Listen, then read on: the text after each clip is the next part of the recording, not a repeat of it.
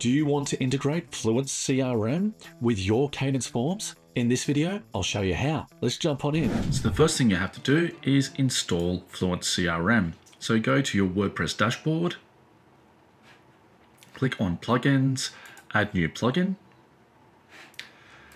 go to search, enter Fluent CRM, And here it is here. It says email marketing, newsletter, email, automation, and CRM plugin for WordPress by Fluent CRM. This is the item that you want. So you click install. Once that's installed, click activate. Again, is now activated. So if we go up to Fluent CRM, it will now take us through the setup. So we say, let's go. So put in the name of your business.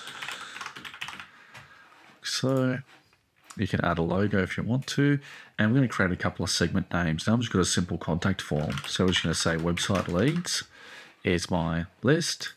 And then we're going to tag people. So we're just going to say, you know, uh, lead like that.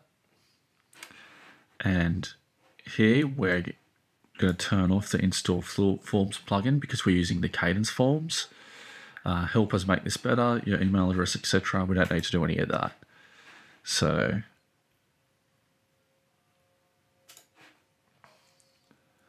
all right, and there we go. We're all good. So we go back to our CRM dashboard.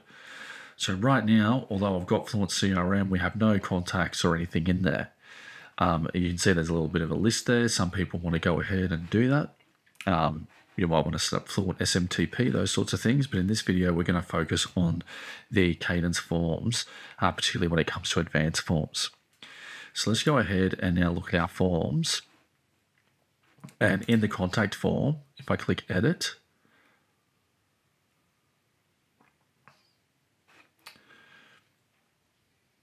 we're going to select the form and then come over to our block editor.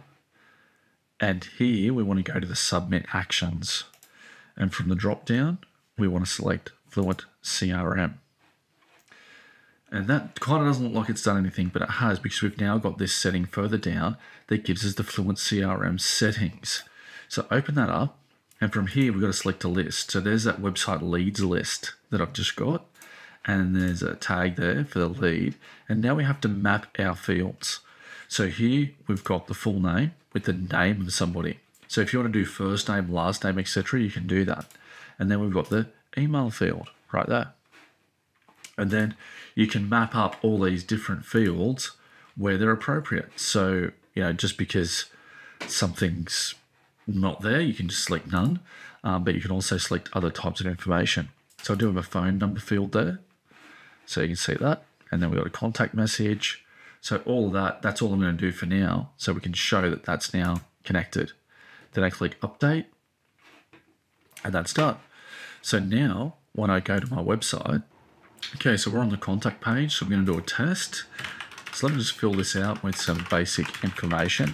You can put dummy information if you like, whatever works for you. So I'm just going to put in this, uh, basic test just like that. Okay, so now we're ready. So I'll click send message. And that submission success is there. So now when I go back to my dashboard and go into Fluent CRM, we can see that we have one active contact and the contact is now shown up within that information. If I open that contact up, here's the contact. And we can see that that's all filled in there. So if I open that person up, then we can see what's actually happened. So, you know, I've only got a first name there. If I put first name, last name, that would fill in. If I made the phone number compulsory, title, prefix, all this sort of stuff, then more and more information would fill in. Uh, there's also custom fields as well, so you can create custom fields if you want to within the CRM. And if you want to do even more, you can go pro with Fluent CRM Pro. But that gives you the basic understanding that just by installing it and connecting up uh, the the Kadence Form Advance, how that's all filled in, and that gets you started using Fluent CRM with Kadence Forms. I hope you liked that quick tip. If you want more like that, don't forget to like and subscribe to the channel, and I'll see you in the next one.